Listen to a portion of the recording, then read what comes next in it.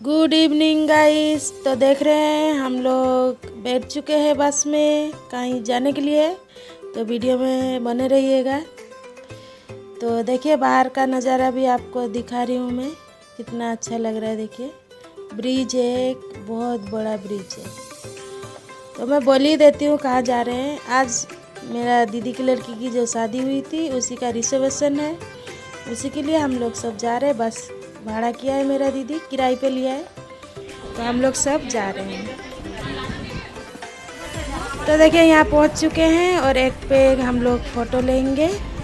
उन्होंने घर में ही मैंने ज़्यादा लोग को नहीं बुलाया था, थोड़ा सा लोग को बुलाया था और घर में ही अनुष्ठान किया था।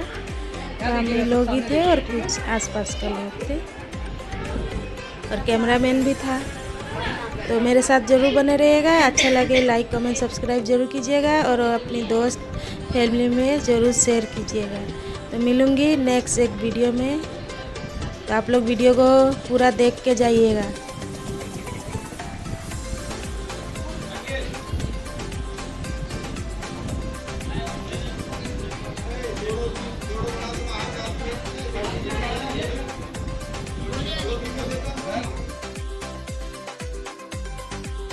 तो देखिए, यहाँ पे मेरा दीदी बैठी है। दीदी की बड़ी लड़की है और लड़की की ननद है और हम सब बैठ के हँसी मज़ाक बातचीत कर रहे थे।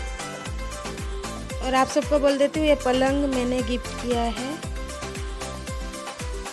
उसके बाद यहाँ पे खाना खा ले रहे हैं हम लोग।